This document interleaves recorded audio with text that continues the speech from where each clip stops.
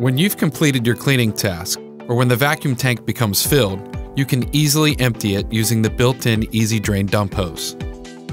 To empty the tank, move the system to the floor sink and locate the dump hose attached to the vacuum tank. Remove the cap from the dump hose and keep the hose pointed in an upright direction to avoid spills. Now, quickly lower the dump hose into the floor sink and allow the contents of the tank to drain out. When the tank is empty, leave the dump hose in the floor sink and remove the vacuum motor from the tank by unfastening the latches on the side of the vacuum tank and lifting the vac motor up.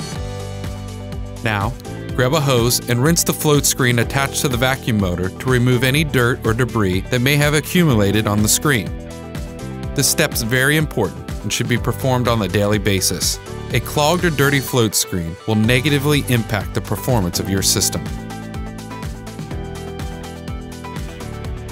Once the float screen has been cleaned, use the hose to rinse the inside of the vacuum tank, allowing the water to flush through the dump hose and into the floor sink.